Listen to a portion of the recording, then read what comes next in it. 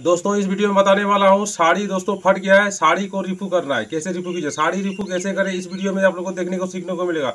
नमस्कार दोस्तों, मैं जीवन पंडित, आप लोगों को मेरे चैनल में बहुत बहुत स्वागत है। दोस्तों, चैनल में नए हैं तो चैनल को सब्सक्राइब करते हैं बेल नोटिफिकेशन दबा करके ऑल में रखिएगा, ताकि इस तरह कॉन्टेंट इस तरह वीडियो आपको मेरे चैनल में मिलते रहेगा।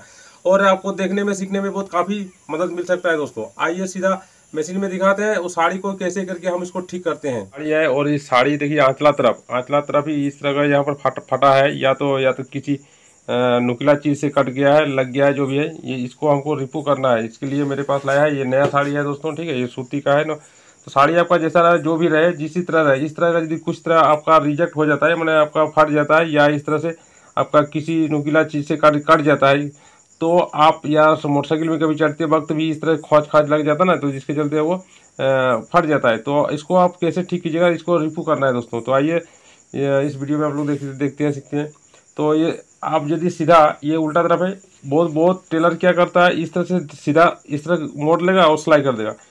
तो ये क्या होगा, ये ठीक से फिनिशिंग यहाँ पर नहीं दिखाएगा खराब दिखाएगा। मैंने इधर सिलाई तो हो जाएगा, मगर इधर दोनों तरफ़ क्या होगा, एगो प्लेट की तरफ़ दिखाई देगा, मैंने वो जो, वो ठीक नहीं लगता है दोस्तों। इसलिए वो तरीका सही नहीं है। आइए इस वीडियो में हम सही तरीका बताते हैं और इसमें बहुत काफ़ी ग्राहक का पसंद है दोस्तों।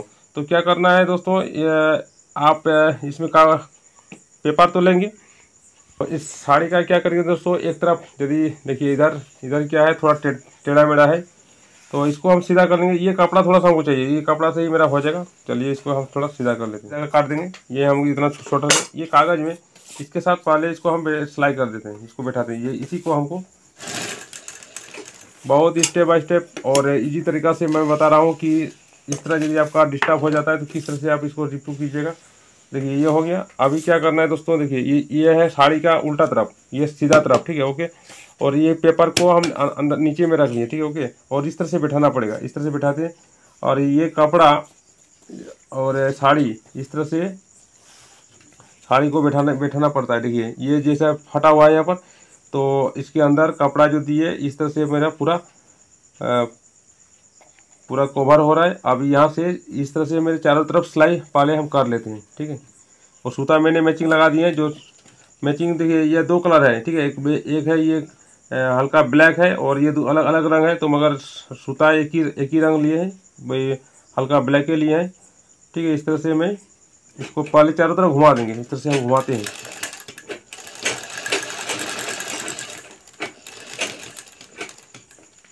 इस तरह से हम घुमाते हैं। इस तरह से देखिए, इसको ठीक से बैठाना बैठा कर रखिएगा, मैंने दोनों नज़दीक, ऐसे नहीं है इसे दोनों तरफ़ मैंने अलग नहीं कीजिए, इसको इस तरह से, वो, इस तरह से कटा हुआ है, इस तरह से, और हम घुमा देना है, इसी तरह से करना है, ठीक है। जितना तक कटा हुआ है, या फटा हुआ है, उतना तक मैंने ये कर लिया, ये नया साड़ी है, और, देखिए, ये हो गया, ये चारों तरफ़ घुमा दिया, आप ये टालने से भी ये फटा हुआ अब अब आपका कोई दिक्कत नहीं होगा। देखिए ये है ना ये, इस तरह पोजीशन तो ये क्या हुआ हमने अब दोनों सामने सामने जैसा पोजीशन था उस तरह बैठ गया ठीक है? ओके अब कोई दिक्कत कोई नहीं होगा। अभी क्या करना है अभी हमको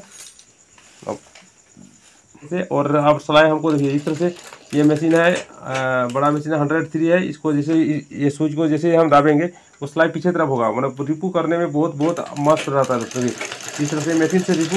इसको जैसे स्विच को दाबेंगे, पीछे तरफ़ आ जाएगा। देखिए दोस्तों, यहाँ रिपू या कितना अच्छा और बेहतर ढंग से हो रहा है दोस्तों, इस तरह से। मैं हाथ से टाना सीधा कुछ नहीं कर रहा हूँ, ये अपने आप अपने आप पीछे तरफ़ आ रहा है, देखिए दोस्तों पीछे तरफ़ अपने आप आ रहा है। तो ये तरीका है, और इस तरह से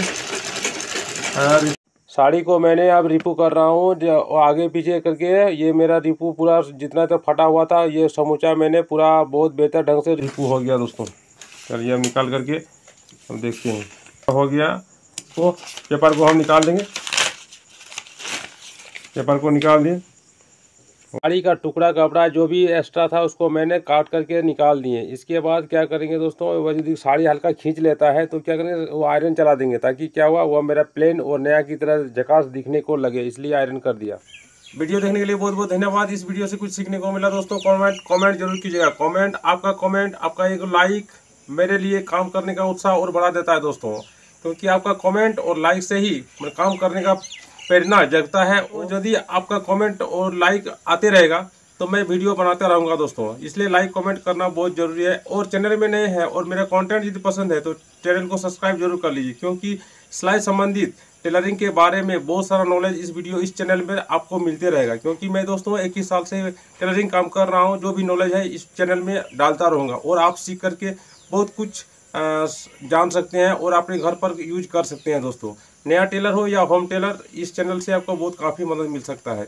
और आपका समय मिला तो वीडियो के नीचे डिस्क्रिप्शन में मैंने प्लेलिस्ट का लिंक डाल चुके हैं, वहाँ पर भी बहुत सारा वीडियो देख करके आप सीख सकते हैं। दूसरा वीडियो में फिर मिलेंगे, तब तक के लिए नमस्कार।